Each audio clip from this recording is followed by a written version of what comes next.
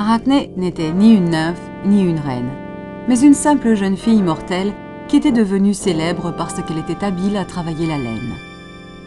Elle avait sans doute appris directement cet art d'Athéna, mais elle soutenait que ce n'était pas vrai et que c'était elle qui aurait des choses à enseigner à la déesse. C'est pourquoi Athéna se présenta sous les traits d'une vieille femme souriante. Elle lui conseilla plus de prudence afin de ne pas mettre en colère la déesse. La jeune fille répondit très mal et défia Athéna, où qu'elle fût, de se mesurer à elle aux travaux d'ourdissage et de broderie. La déesse révéla son identité et la compétition commença.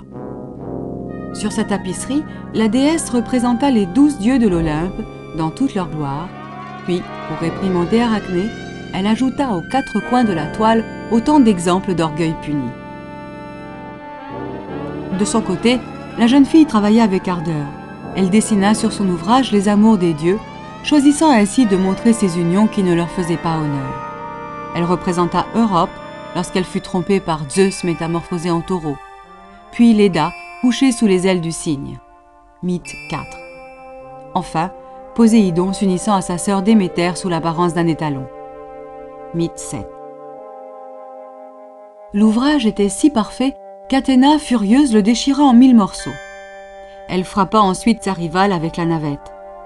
Arachné, désespérée et humiliée, se pendit.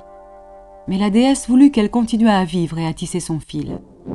C'est pourquoi elle la transforma en araignée.